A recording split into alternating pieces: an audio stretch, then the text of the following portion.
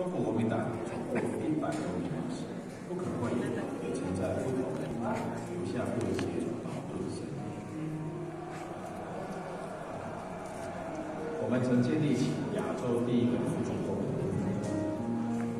树立起领先时代的政治蓝图，但也曾在动员开放的时代，冻结宪法和民主、自由、人权的承诺，直到冷战落幕建中华民国的理想。我们很早就洞察资本主义的问题，破化过度平均地权，节制私人资本的民生经济来源。但目睹百余年来产业技术的变迁，我们也调整方向，走上一条更亲近自由市场、更鼓励竞争创新的道路。我们曾挥舞起民主主义。大旗对抗殖民者的压迫，更在于共产中国的竞争中，把台湾建立为自由中国典范。但正因如此，如何面对台湾认同变迁，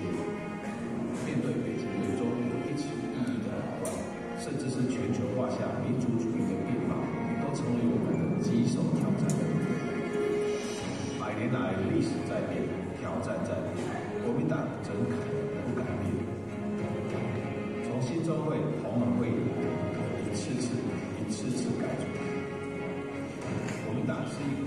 股能创新、有韧性的政治。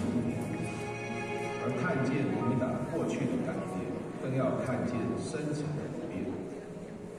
不变的是，国民党始终以民为念，争取民众最大福祉的初心。不变的是，国民党放眼全球、前瞻世界趋势的视野格局。不变的是国民党对中华文化的珍惜与信心。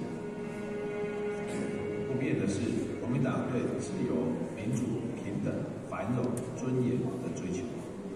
回顾历史，我们从来不缺困境挫折，但我们总能找到冲出困境的方向。立足此刻，我们要拿出创意与战力，扮演好民主政治中不管是执政或在野的角色。要扩大社会对话，持续探索振兴民生、深化民主的创新作用